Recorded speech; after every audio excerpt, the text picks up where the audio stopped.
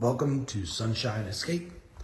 This is a tutorial on how to use the doors that lead out to the patio. These are fancier doors and they need some instructions. So first things first, you're going to unlock the door. Open it. Now you have one door open. Next, you're going to pull first door, slide it all the way to the left until it kind of seats there. Then you're to come to the side and towards the top. This trigger, push down.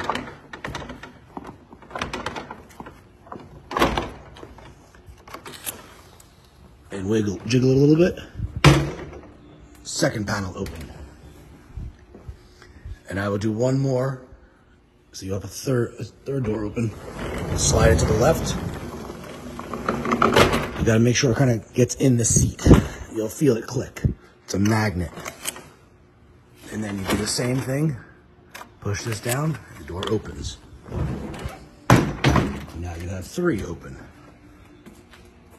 Now to close them, you reverse your steps. So you're going to push it till it slides into the track. Make sure it's all the way in. Then you're going to pull the door